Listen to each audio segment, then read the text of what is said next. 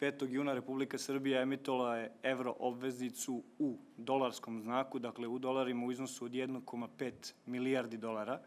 i odmah nakon toga zaključila hedging transakciju kojom su ostvarene dve stvari. Jedno je zaštita od deviznog rizika, pošto ne možemo da utičemo na kretanja evra prema dolaru, tako da je to dolarsko zaduženje, odnosno finansiranje, odmah konvertovano u obaveze u evrima. I druga stvar, a to je ušteda u troškovima, s obzirom da je direktno finansiranje u evrima bilo za čitav procentni poen skuplje u tom trenutku nego ova kombinacija zaduživanja u dolarima, a onda obavljanje same hedging transakcije. Guverner je istakla da je e, emitovanje evro obveznice u tom trenutku bilo veoma uspešno i daćemo nekoliko indikatora koji ukazuju na to. Pre svega govorimo o tome da je e,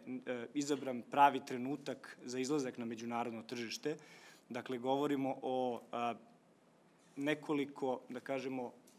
aktivnosti koje su predstavnici Ministarstva financija i Narodne banke Srbije uradili pre toga, to je da izaberemo kada ćemo izaći na međunarodno tržište i čekao se povoljan trenutak kada globalne kamatne stope padnu. Konkretno za dolarsko zaduživanje imali smo tu benchmark ili repernu hartiju od vrednosti na 10 godina u američkim trezorima,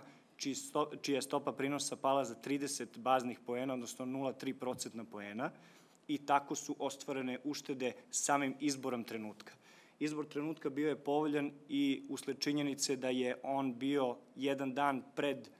odluku Evropske centralne banke, odnosno sastanak Evropske centralne banke za koji su tržišta projektovala da će doći do početka relaksacije monetarne politike, odnosno prvog smanjenja kamatnih stopa Evropske centralne banke, što se i desilo, tako da je globalna premija rizika smanjena, odnosno ostvarene dodatne